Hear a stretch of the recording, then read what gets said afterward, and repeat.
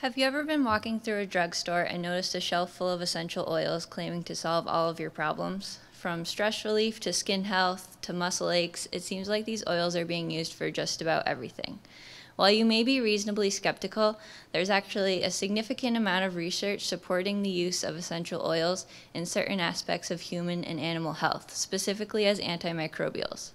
For my thesis project, I'm using various components of essential oils as an alternative treatment for a common disease in sheep and goats called caseous lymphadenitis, which I will be referring to as CL. CL is caused by a bacterium that infects the lymph nodes of these animals, resulting in the formation of abscesses. Um, these abscesses, um, once they rupture, will release the bacteria into the environment where they can infect new animals. Like many bacteria, CL has several protective mechanisms that help it survive in the animal and also in the environment. Um, um, once uh, after infection, um, the macrophages, uh, sorry, after infection, the immune system will recognize the bacteria and attack it with immune cells called macrophages, whose job is to ingest and break down foreign microbes.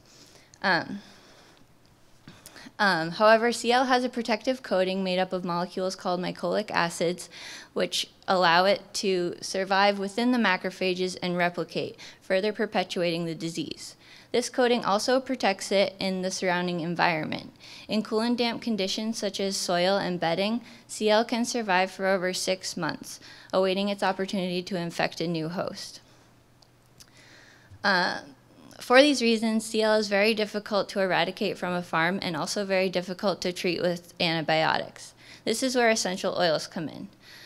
There has been a significant amount of research showing that essential oils can inhibit the growth of bacteria, as well as several bacterial strains that are resistant to traditional antibiotic drugs.